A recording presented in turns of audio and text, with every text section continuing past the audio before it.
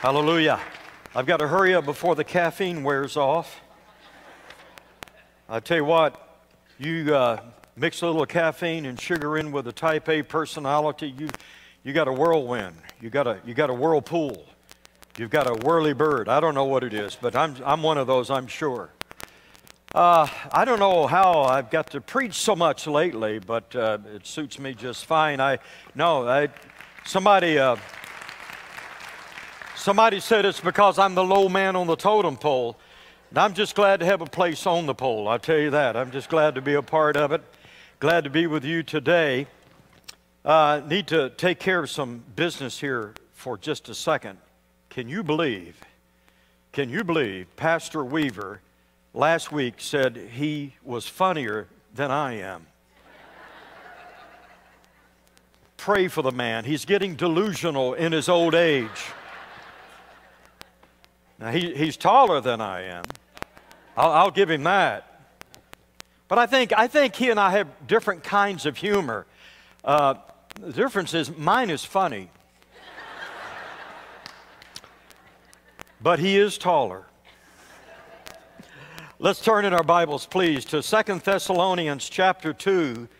Don't dare stop at the end of that chapter. We want to go right into the next one uh, for our thoughts today. Second Thessalonians chapter 2, verse 13. And our message is based upon and built around the introductory phrase of verse 13. Paul says, But we ought always to thank God we ought always to thank God for you, brothers, loved by the Lord, because from the beginning, God chose you to be saved through the sanctifying work of the Spirit and through belief in the truth. How succinctly, concisely, and accurately Paul presents our salvation experience.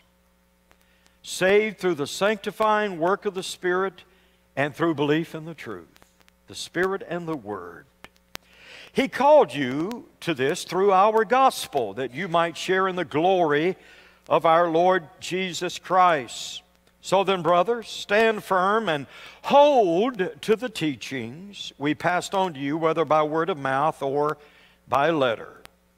May our Lord Jesus Christ Himself and God, our Father, who loved us, and by His grace gave us eternal encouragement and good hope, encourage your hearts and strengthen you in every good deed and word. Finally, brothers, pray for us that the message of the Lord may spread rapidly and be honored just as it was with you, and pray that we may be delivered from wicked and evil men. For not everyone has faith, but the Lord is faithful and he will strengthen and protect you from the evil one. We have confidence in the Lord that you are doing and will continue to do the things we command. May the Lord direct your hearts into God's love and Christ's perseverance. Now, you might think this old preacher is in the habit of just pulling out old sermons and re preaching them but you would be wrong. I can't work that way. I like fresh bread, I like the smell of it. I like mixing it up and baking it and serving it and eating it myself. I like the agony and ecstasy of teaching and preaching. I'm a glutton for punishment. Pray for me. It's Thanksgiving weekend. I hope the Thanksgiving part hasn't worn out. I am thankful for Thanksgiving. I'm thankful for this annual emphasis that, that maybe helps to keep us from straying too far from an attitude of gratitude. But every day should be Thanksgiving Day in the heart of the believer. Paul says we ought always to thank God. Now, you may be a believer who's going through an exceptionally difficult chapter in your life. The fact is, we all have difficulties and challenges and hardships. The fact is, you either are, or you have been, or you will face difficulty. There's, there's just no getting around it. When you come into the kingdom, God doesn't give you a card that exempts you from sickness and sorrow and hardships and heartaches. You don't stop being human, you don't stop being a part of the human condition.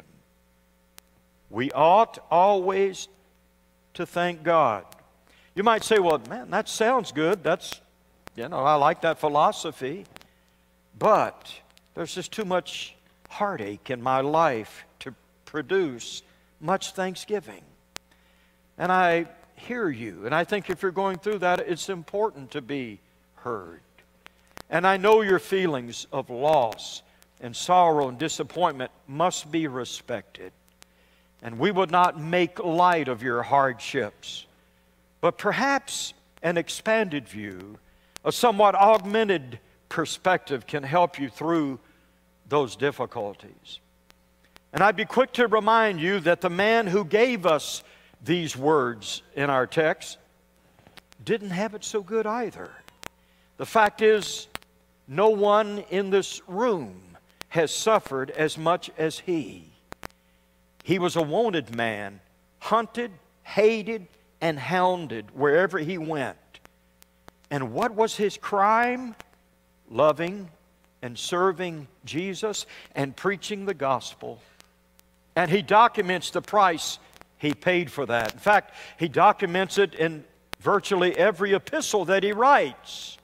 Certainly in 1st and 2nd Thessalonians, in 1st Thessalonians chapter 2 and verse 2, he says it this way We had previously suffered and been insulted in Philippi, as you know, but with the help of our God, we dare to tell you his gospel in spite of strong opposition. And later in that chapter, in verse 9, Surely you remember, brothers, our toil and hardship. In 1 Thessalonians chapter 3 and in verse 3, he speaks of trials, and in verse 4 and verse 7, and persecution and distress. In this context of personal suffering, Paul says we ought always to thank God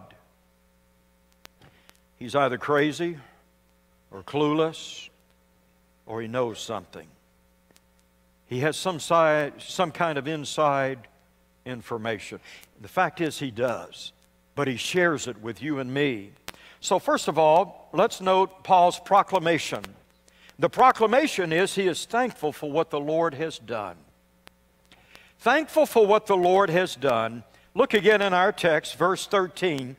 But we ought always to thank God for you, brothers, loved by the Lord. The first thing he notes is the Lord, the Lord loved us. In fact, the Bible says, while we were yet sinners, God commended his love toward us, and Christ died for us. He loved us. Paul reiterates in verse 16 May our Lord Jesus Christ Himself and God our Father, who loved us. He continues in chapter 3 and verse 5 May the Lord direct your hearts into God's love. That's my prayer for all of us today. May the Lord, our God, direct your hearts into God's love.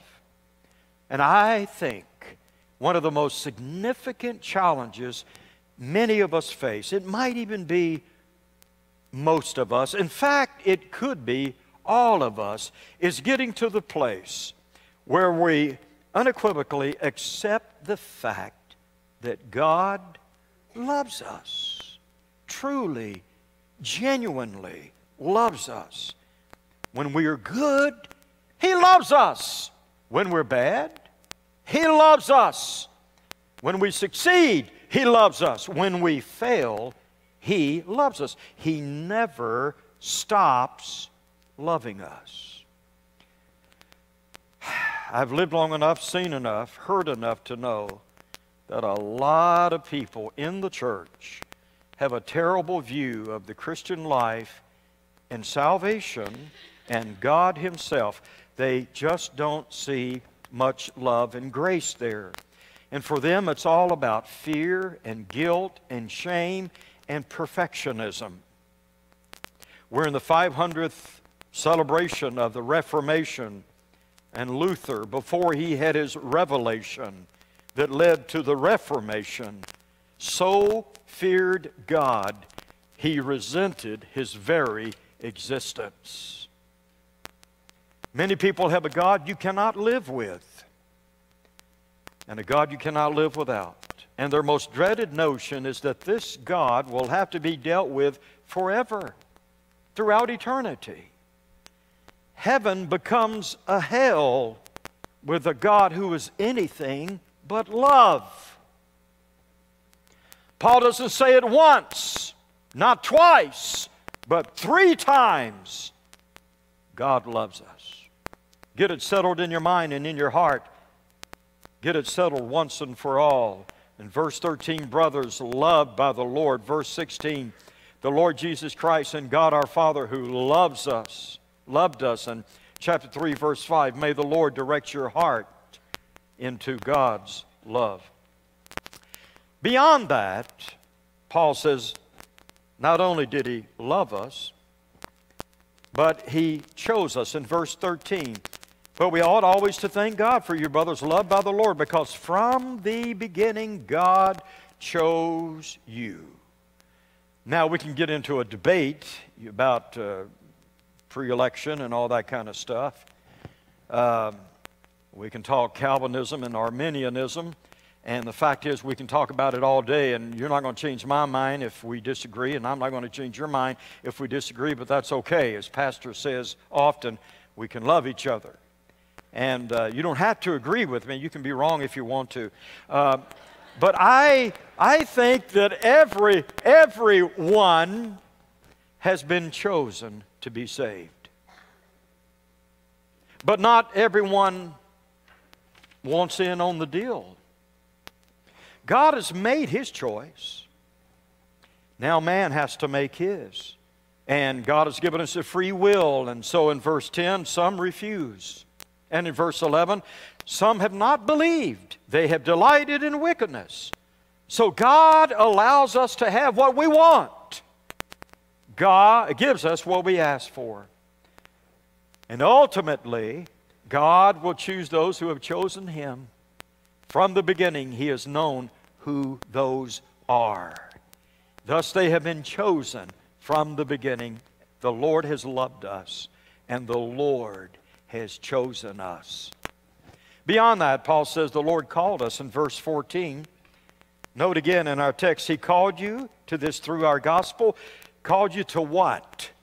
Called you that you might share in the glory of our Lord Jesus Christ. Oh, I just lost two gems in my Sunday school class Jim Kephart, Jim James. You know, they are recipients of the glory of our Lord Jesus Christ. We all have that anticipation if we're believers. We all have that assurance. Man, there is a future for you and me. There's a future for us to think about. We're going to share in the glory of the Lord Jesus Christ. Sign me up. In chapter 1, verse 10, Paul speaks of the day he comes to be glorified in his holy people and to be marveled at among those who believe. His holy people, his believe, those who believe. Not those who achieve, but those who believe. Did I deserve any of this? Did I deserve to be loved by him? Did I deserve to be chosen by him? Did I deserve to be called into his glory? Well, no. And that's why we thank God for it. It is His unmerited favor, His undeserved gifting to us. So when I get to heaven, nobody's, I can't, I can't say, Congratulations, Donald Hawkins, you did it. Angels aren't going to gather around and congratulate me on my superior efforts and notable achievements. All of us are going to bow before the throne of God and thank Him for His love and His Son who saved us and His Spirit who sanctified us. Paul is thankful for what the Lord has done. Are you thankful today? Amen. Well, I could stop here and that's a good sermon, so I will. No, I won't. Because there's more. There's still more. Not only do we have proclamation what the Lord has done, but we have promise, thankful for what the Lord will do. Let me tell you what God wants to do in your heart and mind. Number one, He wants to encourage us. Look at verse 16 again. May our Lord Jesus Christ Himself, God our Father, who loved us and by His grace gave us eternal encouragement and good hope. In verse 17, encourage your hearts. You know, I find it greatly encouraging to know that God is an encourager. God says, You can do this. God says, I have confidence in you. God says, I've got your back. God says, I'm going to help you. God goes on record with positive reinforcement. God is an optimist about you and me, and He wants to encourage our hearts today. That is one beautiful baby. That really is. But look at me, I'm beautiful in my own way. You can't compete with a baby, though. This man, Paul, was big on encouragement. He knew it was needed. In 1 Thessalonians chapter 3, verse 2, he said, We sent Timothy to strengthen and encourage you in your faith. In 1 Thessalonians 4:18, he says, encourage one another with these words. In 1 Thessalonians chapter 5 verse 11 encourage one another and build one another up just as you are doing. 1 Thessalonians chapter 5 verse 14 he says encourage the timid.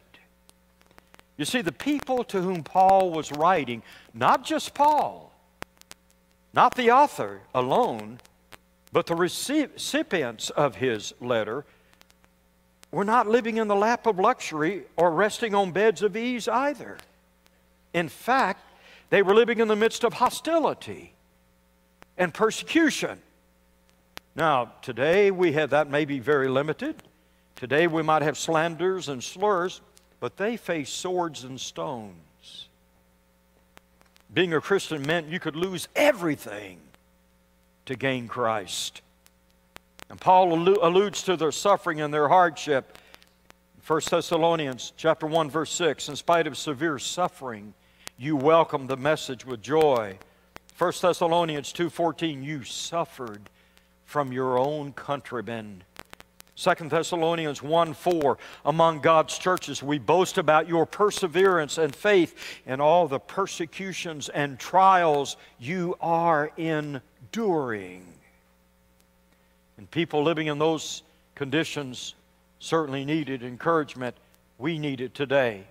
You and I need it. We all need it. God will encourage you.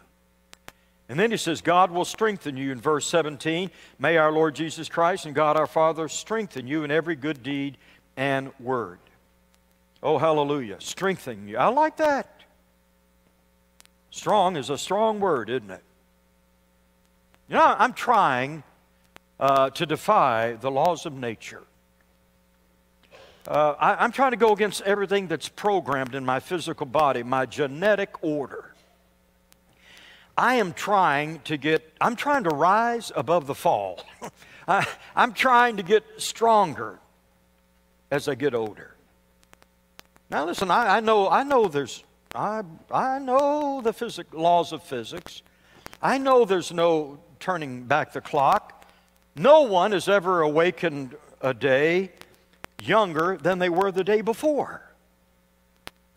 Now, some, with the help of Dr. Nip and Dr. Tuck, may look younger, but they're not really younger. I got that. But I've got a goal for my 70th birthday just a few months away here. It's going to be hard. It's going to be really hard, but and just in case I don't pull it off, I don't want, I don't want to tell anybody what it is. But I'll tell you, but you can't tell anybody, okay? Sometime around my 70th birthday, I want to do 70 chin ups. Now, I don't know if you've ever tried to do a chin up, but it takes quite the exertion. And I know that sounds crazy. I know it does. Believe me, I understand that. But you know, I just find sanity, after a while, gets kind of boring. And I've, uh, I, have already taken care of things. Things, don't worry, I'm going to be just fine. Carolyn's going to be standing by with a defibrillator. If that doesn't work, we'll use a fibrillator. The ER is only two miles from my house. I'll be wearing one of those help, I've fallen and I can't get up medical alert systems. And my will is updated. And Pastor Brett gets all my unused golf balls. But I know, I know, try as I may, there's that inevitable intersection that will soon be met. And while I'm trying to get stronger, I'm getting older. And getting older wins every time. But I still love the challenge and I appreciate the gains that can be won and the losses that can maybe be uh, delayed a little. I just think we ought to do what we can to take care of these temples. And I don't think we talk about that enough in the church. And there's absolutely a total vacuum of amens right now. Didn't hear any. But if physical strength is important and to be pursued, how much more is the value of spiritual strength? How much more important it is, my friends, for us to develop our faith muscles. Apparently, a lot, because Paul sure talks about it a lot. He says in 1 Thessalonians 3:13, "May he strengthen your hearts." 2 Thessalonians 3 3, the Lord is faithful and he will strengthen you. 2 Thessalonians 2:17 May the Lord Jesus and God encourage your hearts and strengthen you. Wow. Well, this is uh, personally awkward. I've hesitated to, to share this, but maybe, maybe it will help some. I did share a brief part of this on a Wednesday night, and I was told that it was helpful. Uh, when I was a kid, I, I, I rarely rarely heard words of encouragement or positive reinforcement from my parents. They were just not programmed that way. They had not learned that, and they certainly didn't pass it on. My parents were not confidence builders. I don't ever remember a compliment offered to my two sisters. I never heard my parents tell them they were pretty. Never once. And they were. And I've often wondered what difference it could have made, what discovery and development of talent, what seed would have bloomed had it been in an environment where parents would have presented themselves as people builders, encouragers, strength givers. And I can't tell you the joy, the elation, that I've, experienced in my personal pursuit in God's Word to discover the revelation that God is an encourager, that God can give me strength and all the faith and fortitude I will ever need. I am thankful for a God like that. Let me tell you about this Heavenly Father. He doesn't point his finger at me to accuse me, he points it to show me the way. He doesn't hold up his hands to resist me. Instead, he uses them to embrace me. Those hands never put me down, they always lift me up. He doesn't raise his voice to condemn me, but to tell me that he loves me. God's not against me, he is for me. He's not my enemy, he's my friend, my shepherd, my good shepherd. He doesn't condemn me, and He tells me not to condemn myself. Why, even David on the backside of the cross had that understanding of God. He said, But thou, O Lord, art a shield for me, my glory, and the lifter up of mine head. Proclamation, what the Lord has done. Promise, what the Lord will do.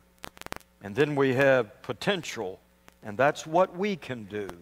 And, and Paul tells us, first of all, in verse 15, we can stand on. So then, brothers, stand firm. Stand, for, stand like our hero, Al Roker, in a hurricane. It's a good thing Al Roker is built low to the ground. Stand like a tree planted by the waters. I was on the mission field myself for 10 years. A foreign land called West Virginia. and the biggest hometown hero of Clarksburg, West Virginia was Stonewall Jackson. In one battle, Jackson was holding his post against the Northern troops, and the Union general saw Jackson standing there, and he said, Look at Jackson standing there like a stone wall. That's what Paul is saying in the midst of battle, in the midst of enemy soldiers, against overwhelming odds. Stand. Be courageous, resolute. Stand like a stone wall. Stand against evil. Stand against persecution and hardship. Stand when you're weary. Stand knowing you never stand alone. Stand on, and then he says, hold on in verse 15. Stand firm and hold to the teachings we passed on to you. So we hold with our feet, we hold with our hands, and we hold with our heart. Hold to what?